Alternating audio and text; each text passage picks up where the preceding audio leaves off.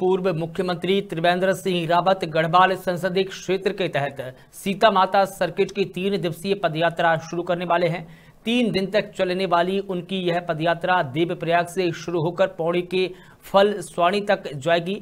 इस दौरान पूर्व मुख्यमंत्री त्रिवेंद्र सिंह रावत ने यात्रा के भ्रमण कार्यक्रम की जानकारी देते हुए कहा कि वह 22 नवंबर को देवप्रयाग संगम पहुंचकर रघुनाथ मंदिर में पूजा अर्चना करने के बाद पदयात्रा शुरू करेंगे।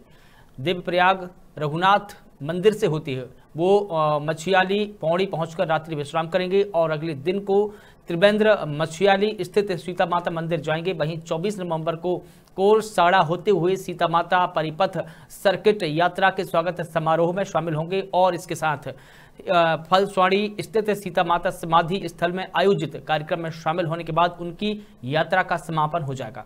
देहरादून से ब्यूरो चीफ अवनीश गुप्ता की रिपोर्ट। मित्रों, जय श्री राम।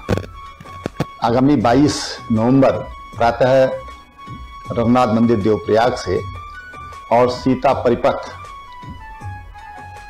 पद यात्रा का शुभारंभ होगा।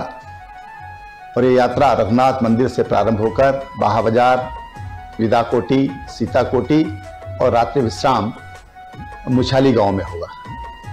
अगले दिन ये यात्रा वाहनों से होगी और मुछाली में सीता माता मंदिर में प्रातः पूजा अर्चना के बाद जामला खाल घुड़दौड़ी डांडा पानी होते हुए रात्रि विश्राम श्री लक्ष्मण मंदिर देवल में होगा।